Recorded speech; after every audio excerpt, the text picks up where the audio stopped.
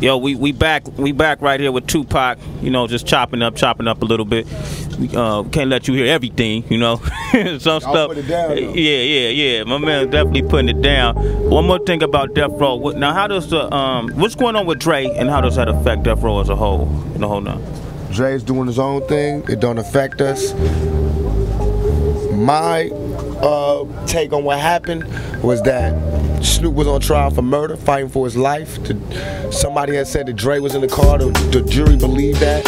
We needed Dre to be there to say he wasn't there. Once they would have saw him, they would have known he wasn't there, and that would have saved Snoop's whole case. Because they would have saw that the, the witness that had said it was lying, and Dre never showed up. He was too busy.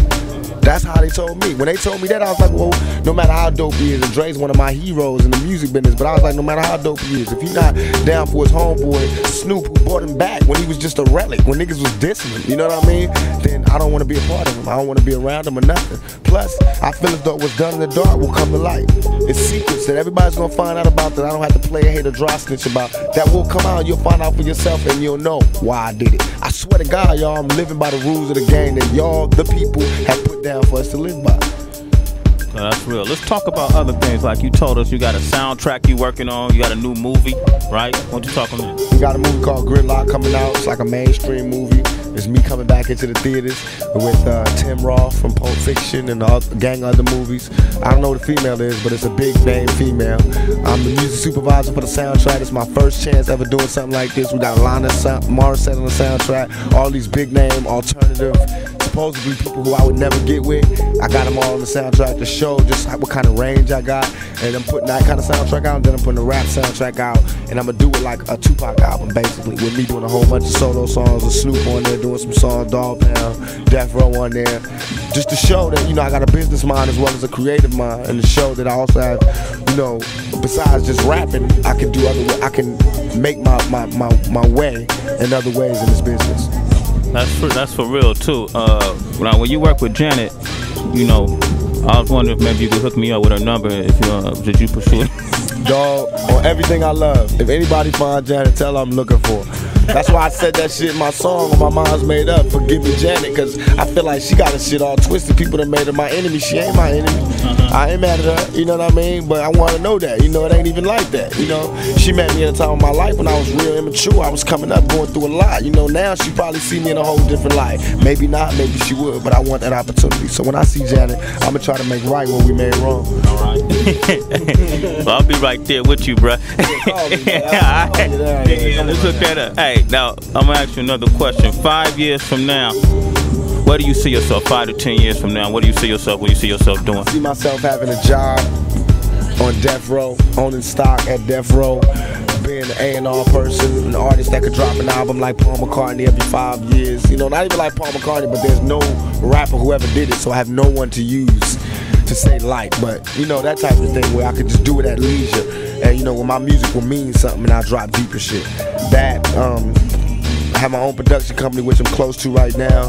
Doing my own movies. Have my own restaurant, which I got right now with Alanis and Suge and Snoop.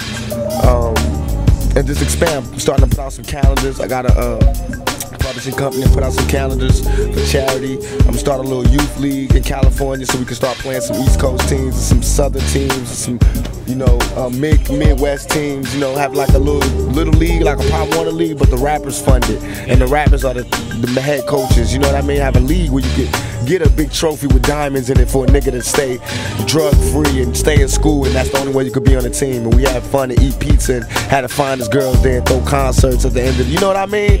That's what I mean by giving back. You know what I mean? Not not not being who I am, but by using what I got to give back to give back. And in closing, you know, you got a lot of people, fans that's listening to you right now, that don't really get a chance to uh, talk to Tupac up and close and personal like we like we kicked it today. But if it's anything you want people to know about Tupac, what is it you like to say? Number one, when I diss y'all, meaning diss, I mean like when you come up to me and I'm not giving you the kind of reaction that you think I should be giving you, it's not because I'm ungrateful. It's because I'm nervous, I'm paranoid. I just got out of jail, I've been shot, I've been cheated and lied and framed, and I just don't know how to deal with so many people giving me that much affection. I've never had that in my life. So if I do do that, don't take it personal. Try to understand me and see it for what it is. Now I understand what it's truly like to be like, not that I'm a fine ass nigga, but I understand what it's like to be a fine female going to the club and all the guys just rush you before you ready to be rushed. You know what I mean? And everybody's touching you before you ready to be touched. So now I have a better understanding of what it's like to be a woman. But I also have a better understanding on fans not making me do things. I'ma do it because I love y'all, because I do appreciate what you did. But when you make me do it, I don't want to do it. I don't care how many albums you bought. You know what I mean? My fans to me are people who follow me and is down for me, understand me, and no matter what people say, they know me because they know my actions. They follow me through my career.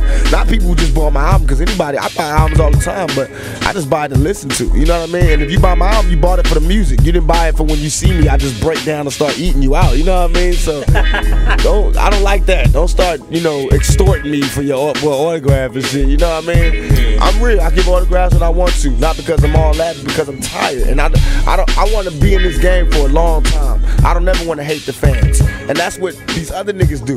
See, they might give you autographs all the times, but they hate you, and they don't even look at you like people.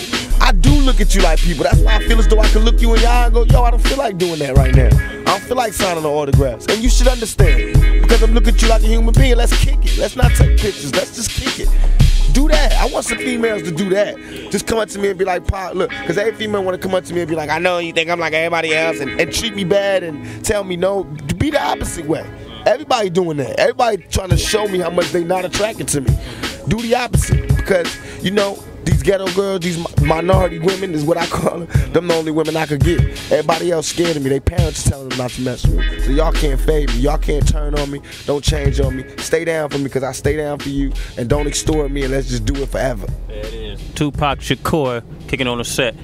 Right here, right here, right here, right here, right here, right here, right here, right here, right here, right here, right here, right here.